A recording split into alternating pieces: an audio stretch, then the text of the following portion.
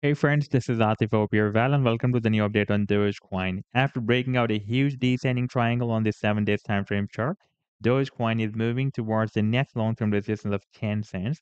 And at the same time, you can see it has also broken out this red line that is the EMA 21 on this weekly time frame chart, and that is also, also uh, working as a support for the Dogecoin now. And in today's video, we will once again analyze this move. But before starting this analysis, if you are not subscribed to my channel, then do subscribe it. And for more trading signals, you can also join me and support me as a YouTube member or as a Patreon member because here I'm sharing different trading signals for you. And you can find a link to join me here in the video's description I've shared. And if you would like to see how my trading signals work, then I will also share the link for the trading signal report for the previous month of November 2023 in the video's description. You just need to open that report. And if you would like to check or verify any trading signal, like this, the trade setup for Pond, you just need to click on the link for the trade setup and it will take you to the TradingView's chart. And over there, you can watch the complete trade setup, like the buying zone and the sell target range and the stop loss as well. And in order to see how the price has moved after sharing this trade signal, you need to click this play button. And in order to use this option to click this button, you need at least a free account on the TradingView. If you don't have, then you can create account there using the link I've shared in the video's description. Now I'm going to click this button and you can see it is showing us first price line moved um, more down, enter the buying zone here and we had a very, very massive price reversal. Now, let me take you to the live chart of uh, Dogecoin. First of all, I would like to show you this daily time frame chart. And here we have already broken out this uh, symmetrical triangle on this daily time frame chart. And the target for this symmetrical triangle breakout uh, was here.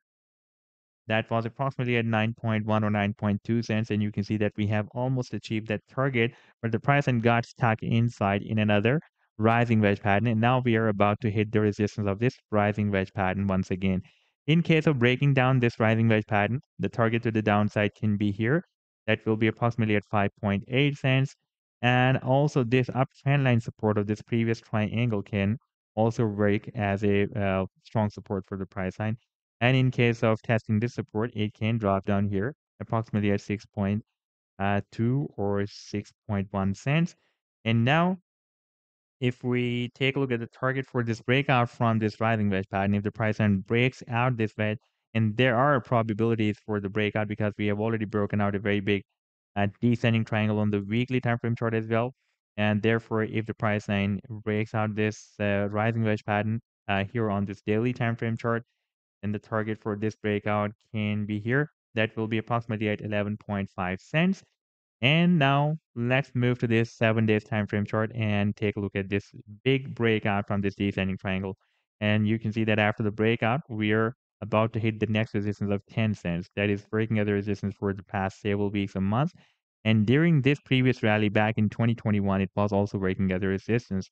Therefore, it can again break as a strong resistance for the price line. Now, if we take a look at the target for this uh, breakout from this descending triangle, and the target can be here that will be approximately at 23 cents. And the final target for this huge breakout from this falling wedge pattern is here at the top of the wedge. That is between 76 cents to 80 cents.